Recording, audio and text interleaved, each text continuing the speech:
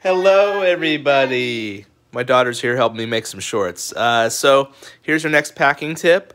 Uh, instead of bringing paper plates, uh, this one again is uh, an Adventure Van Man tip. If that's the original originator of it.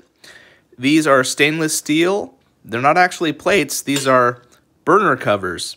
So Walmart sells stainless steel burner covers. Make sure you get the stainless steel ones. And it has uh, two small plates basically and two big plates. And then when you're done uh, to clean up, if you have a sink available, you can do soap and water.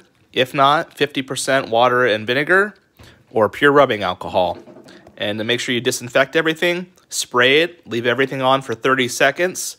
That should begin to kill bacteria at 30 seconds. And then you can wipe clean with a paper towel.